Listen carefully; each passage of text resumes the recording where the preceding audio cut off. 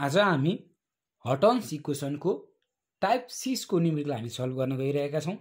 कृपया भिडियो अन्तिमसम्म हेरिदिनु होला र भिडियो सुरु गर्नभन्दा अगाडि यति आज हाम्रो च्यानल प्रशान्त वाइटीमा कोही नयाँ हुनुहुन्छ भने कृपया च्यानललाई सब्सक्राइब गरी नजिकैको बेल आइकन दबाउन नबिर्सिनु होला साथै हामीसँग सोसियल मिडियामा जोडिन चाहनुहुन्छ भने डिस्क्रिप्सन बक्समा लिङ्क राखिएको छ फेसबुक इन्स्टाग्रामको।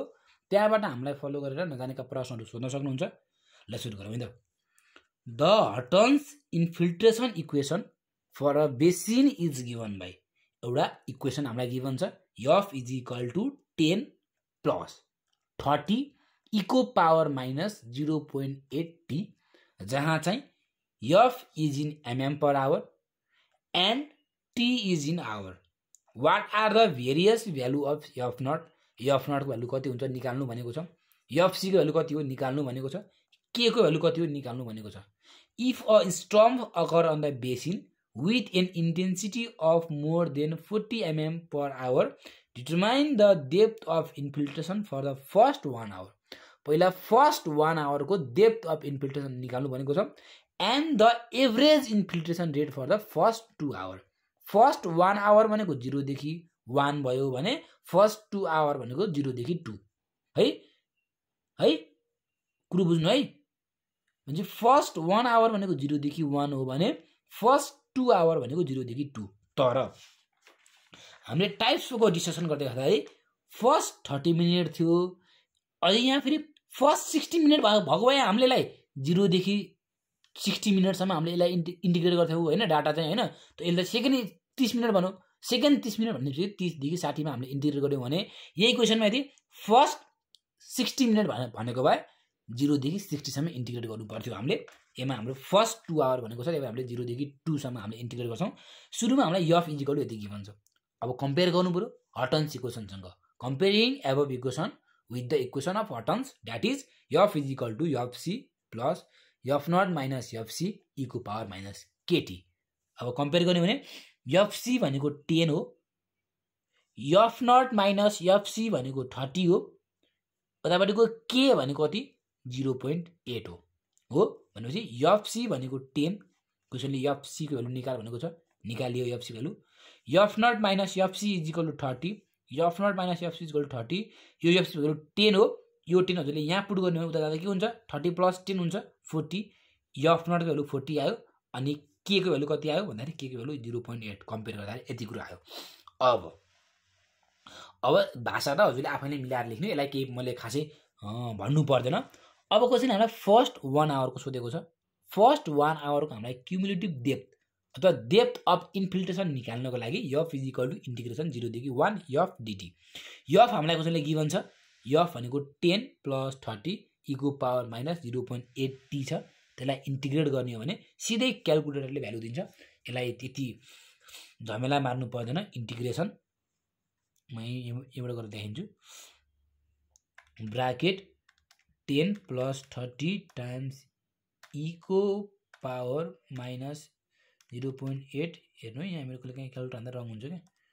यक्स ब्राकेट क्लोज जिरोदेखि वानसम्म e thirty point six five mm मेरो के आयो? फर्स्ट वान आवरको आयो। अब सेकेन्ड टु आवरको होइन? अब एभरेज निकाल्नको लागि सुरुमा हाम्रो क्वेसन सोधेको छ। फर्स्ट वान आवरको डेप्थ अफ इन्फिल्ट्रेसन हो सोधेको भने फर्स्ट टु आवरको चाहिँ एभरेज हो। अब एभरेज निकाल्नु लागि सुरुमा त हामीले त सेकेन्ड फर्स्ट टु आवरको निकाल्नु पऱ्यो फर्स्ट टु आवरको निकाल्न केही पनि गर्नु पर्दैन। यहीलाई इक्वेसन एउटै हो। जिरोदेखि टूसम्म इन्टिग्रेट गरिदिने हो फर्स्ट टु आवरको कति आयो फर्स्ट टु आवरको भन्दाखेरि हजुरले हेर्नु भने forty nine point nine two अथवा नाइन टू एट त नाइन थ्री लेखेँ मैले। Forty nine point nine three mm यो त हाम्रो क्युमुलेटिभ डेप्थ हो। अब एभरेज निकाल्नु पऱ्यो एभरेज निकाल्नको लागि यहीलाई दुईले भाग गरिदिने।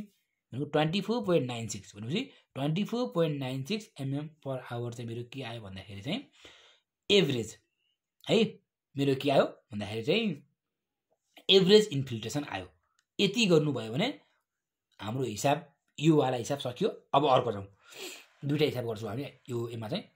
अब क्वेसनले के भनेको छ भन्दाखेरि the cumulative depth of infiltration is given by cumulative depth हामीलाई गिभन छ इन्फिल्ट्रेसनको एउटा इक्वेसन हामीलाई गिभन छ जहाँ चाहिँ F is in cm F सिएममा given छ टी इज इन मिनेटमा गिभन छ determine the equation for infiltration rate and average infiltration average भन्ने बित्तिकै डिभाइड बाई टू गर्नुपर्छ।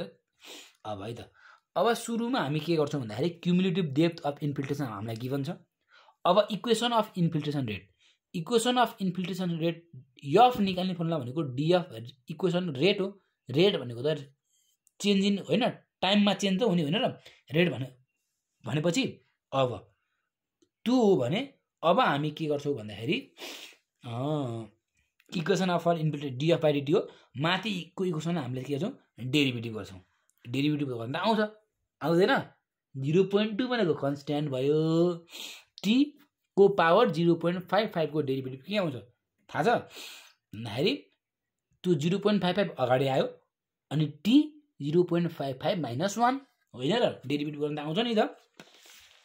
ल इ जिरो पोइन्ट टू माथिको जिरो पोइन्ट फाइभ फाइभ अगाडि आयो। अनि T zero point five five minus one. अब यहाँबाट हजुरले हेर्नुहुन्छ भने रेट अफ के अरे इन्फिल्ट्रेसन रेट भनेको यफ भेल्यु अब यहाँबाट हाम्रो कति भन्दा यफ भेल्यु यति आयो। क्वेसनले सोधेको हाम्रो एउटा के हो? रेट इन्फिल्ट्रेसन ऊ पनि सोधेको हो हामीलाई। इन्फिल्ट्रेसन रेट पनि सोध्या हो। Equation for infiltration rate infiltration रेटको इक्वेसन निकाल्न सोध्या हो निकालियो। अब एभरेज इन्फिल्ट्रेसन रेट अब एभरेज इन्फिल्ट्रेसन रेट निकाल्नको लागि एभरेज इन्फिल्ट्रेसन रेट भनेको यफ बाई टी हो। अब हेर्नु है। यफ भनेको अब हामीले के गर्छौँ? गिभन इक्वेसनै यो यफ भनेको यही हो। गिभन इक्वेसन यफ हामीलाई गिभन चाहिँ यफ यफ बाई टू हो। यहीले हामीले डिभाइड बाई टू गर्नु पऱ्यो चाहिँ यही इक्वेसनलाई डिभाइड बाई टू होइन। टाइमले टाइमले डिभाइड बाई टी गर्नु नि त। रेट भनेको के हो? भन्दाखेरि टाइमको रेस्पोन्ड हो नि हामीले उ गर्ने रेट भनेको के हो? Rate of change of velocity भनेको डी बाई डिटी भी त हुने होइन। भनेको रेट भनेपछि के हो? डी बाई डिटी हुन्छ टाइम तल आइहाल्छ भनेपछि एफ बाई टी भयो। अब यो टी माथि जाँदा के हुन्छ? भन्दाखेरि माइनस वान हुन्छ टीको पावर माइनस वान हुन्छ जिरो पोइन्ट फाइभ फाइभ के अरे टीको power zero point five five five into टीको पावर माइनस वान भने टी त एउटा सेम भ्यालु भयो भने चाहिँ zero point five five minus one भयो। यहाँबाट आउँछ के आउँछ? जिरो पोइन्ट टू टीको power zero point four five cm per minute चाहिँ मेरो के भन्दाखेरि एभरेज इन्फिल्ट्रेसन रेट आयो। यतिसम्म गर्नु पऱ्यो है? यो चाहिँ हाम्रो चाहिँ यो भ्यालु चाहिँ जुन हाम्रो माथि निकालेको छ त्यो भ्यालु भनेको इक्वेसन अफ इन्फिल्ट्रेसन रेट हो। इन्फिल्ट्रेसन रेटको इक्वेसन हो भने अब हाम्रो चाहिँ एभरेज इन्फिल्ट्रेसन रेट निकाल्नको लागि गिभन जुन हाम्रो इन्फिल्ट्रेसन छ डेप होइन? गिभन इन्फिल्ट्रेसन डेपलाई हामीले डिभाइड बाई टू गऱ्यो भने हाम्रो एभरेज इन्फिल्ट्रेसन रेट आउँछ। है? यति गरिसकेपछि यो टाइप्सको न्युमेरिकल सकियो। नेक्स्ट टाइप्सको न्युमेरिकल लिएर हामी छिटै नै उपस्थित हुनेछौँ। त्यति दिनसम्मलाई गुड बाई टेक केयर।